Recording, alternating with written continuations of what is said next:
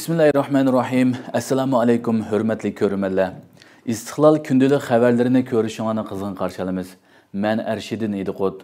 Tövəndə vətənimiz Şərqi Türkistan və dünya gün tərtibiga əlaqədar mühim xəbərlərini huzurunuza sunumuz. Qani diqqətinizlər ekranımızda olsun. Amerika parlamenti Xitoydagi kishilik huquq masalasi haqida doklad e'lon qildi.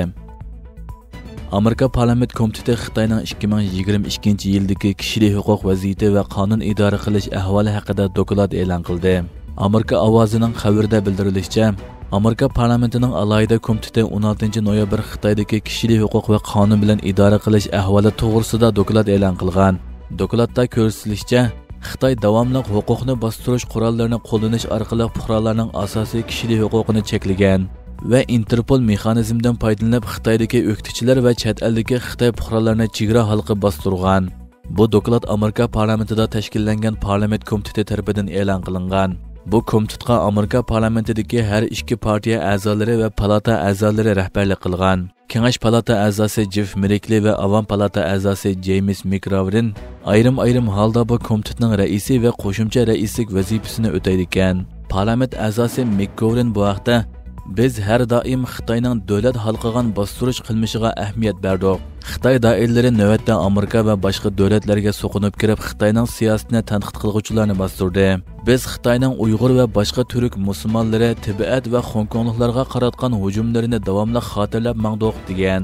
Bildirilishicha davlat xalqiga bostirishga ko'ngil bilish bu komitetning mas'uliyati bo'lib dokladda xitoyning to'r hujumi tuhmat choplash qilmishi shaxslar va ularning oila tavobatlariga tahdid silish va interpol mexanizmini qalamqon ishiltish qatorli qo'llangan barliq vositalar tafsili bayon qilingan.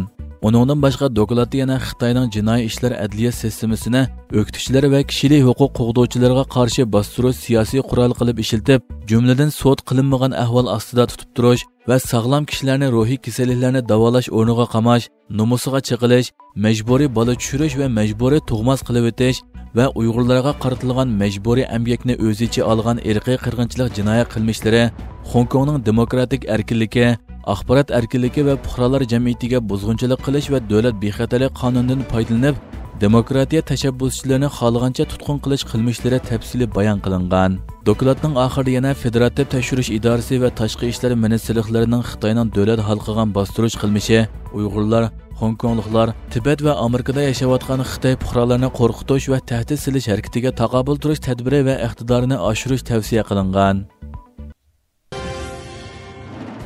Angliya hukumati Xitoy kontrolligidagi shirkatni piyini setishga buyurdi.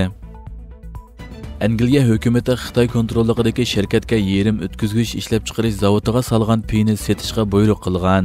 Fransiya xalqaro radiosining 17 noyabrdagi xabarda bildirilishicha, Angliya hukumati chorshanba kuni Xitoy shirkatiga Angliyaning asosiy yerim o'tkazgich zavodidagi piyini setishga buyruq qilgan.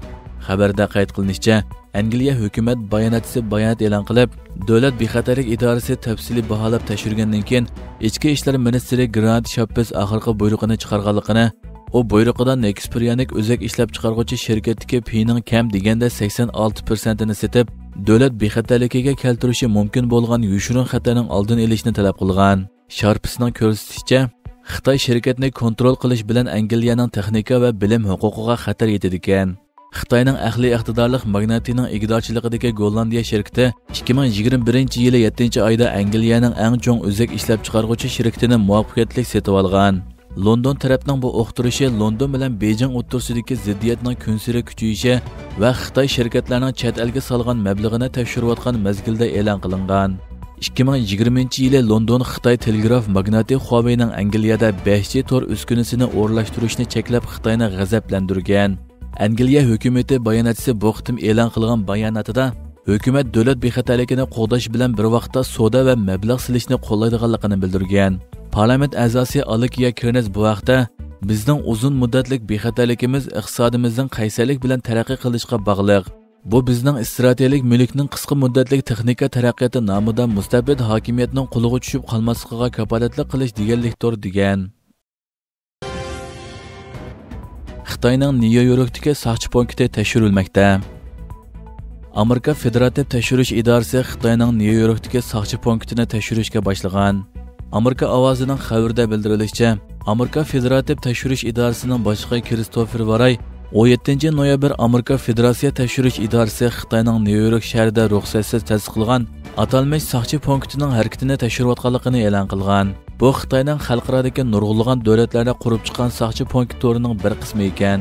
Kristofer Varay Xitoyning Amerikada qonunsiz tasdiqlagan qonun ijro qilish harakatini to'xtatganligini va'da qilgan. Kristofer Varay Kengash palatasi Davlat bexatarlik komiteti isbot anglash yig'inida Xitoyning atalmish soqchi punkti to'g'risidagi savolga javob berib, biz bu xil punktning borligini bilamiz. Biz bu masalani tekshirishni astoydil muzokara qildik. Ammo manga nisbatan Xitoyning tasdiqdan o'tkazmagan ahvol ostida qurib chiqqan atalmish soqchi punkti kishini g'azablantirdi degan. Bu masala oshkorlangandan keyin Xitoyning Washingtondagi bosh elchixonasi bu to'g'riliq hech qanday inkos bildirmagan. Qo'g'dug'ichi muhofizachilar tashkiloti 7 noyabr yozma bayonot e'lon qilib, Avstriya, Chex, Germaniya, Irlandiya, Italiya, Portugaliya, Ispaniya, Shvetsiya, Gollandiya va Angliya qatorliq 14 davlat hukumatining allaqachon Xitoyning chet elda qonunsiz qurib chiqqan chet el soqchi punktlarini tekshirishga boshlaganligini Kanada, chili Nigeriya va Amerika qatorli davlatlarning tekshirayotganligini bildirgan edi. Qo'g'dug'ichi muhofizachilar tashkiloti yana demokratik davlatlardagi hukumatlarning Xitoyning davlat xalqiga bostirish taktikasi va munosib to'rlarini tekshirishga, xatar ostidagi mahallalar haqida yetarli doklad berish va qo'g'dash mexanizmini o'rnatib, mazkur jinoyat gumondorlariga qaratgan jazo va viza cheklamasini yo'lga qo'yishga chaqiriq qilgan edi. Xitoyning Sharq Turkiston xalqini bostirishi davom qilmoqda. Xitoyning atalmish yuqumni nolga tushirish bahonasi bilan Sharqiy Turkiston xalqini uylarga qamagandan boshqa maxsus tayyorlangan atalmish ayirib qamash o'rinlariga majburiy qamab qiynash qilmishlari xalqaro jamiyatga oshkora bo'lgan bir hodisaga aylangan. Bugungi kunlarda Xitoy rejimi qamab och qo'yganni ozdab, hech qanday isinish uskunlari bo'lmagan zallarga sulab xalqni sovuqda qiynamoqda. 18 noyabr ijtimoiy uchur vositalari orqali tarqalgan bir qanchasida maktab bolalarimi o'zlarining sinflariga qamalgan va qayer ekanligi noma'lum intayin nachar sharoitdagi yerlarga cho'ng kichik demasdan qamalganlarning ko'rinishlari ko'rsatilgan. Yana bir sinda rahimsizlik bilan qamalgan yuzlagan kishining so'g'uqdan kasal bo'lganligi ma'lum bo'lib zalda to'xtamay anglanayotgan yo'tal ovozlari kishini ichindirdi ishg'oliyatchi xitoy rejimi navbatda ijro qilayotgan qamab och quyib bostirish qilmishi kun kunsiri chekidan oshmoqda bo'lib sharqiy turkistonning har qaysi joylarida qishning kirishiga agishib boshlangan sovuq havog'imi qilcha parvo qilmasdan hech qanday isinish aslahasi bo'lmagan maynat zallarga majburiy sulab qiynamoqda. Amerikada xitoyning bir istixborot amaldori qamoq jazosiga hukm qilindi. Amerikada xitoyning bir istixborot xodimi 20 yillik qamoq jazosiga hukm qilindi.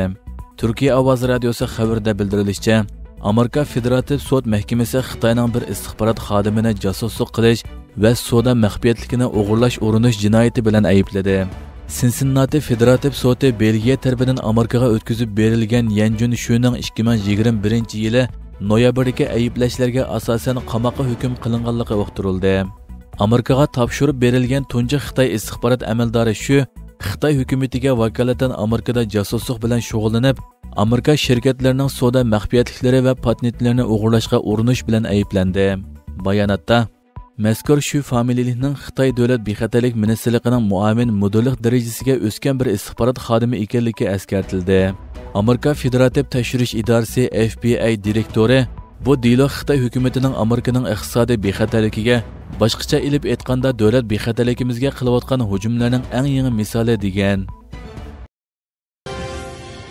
Istanbuldagi bomba hujumiga yordam qilgan yana bir terrorchi suriyada qo'lga tushirildi. Istanbuldagi bomba hujumining amalga ishishiga yordam berganligi aniqlangan husam a ismli terrorlik tashkiloti pkk ypg a'zosi suriyaning azaz shahrida bexatarlik qismlari tarafidan tutildi.